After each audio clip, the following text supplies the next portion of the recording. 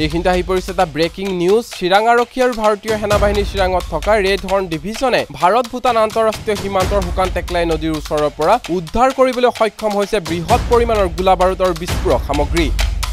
গোলা বাৰুদখিনি উগ্ৰপন্থী সংগঠন N D A P Songbijit গোটৰ বুলি সন্দেহ কৰা হৈছে।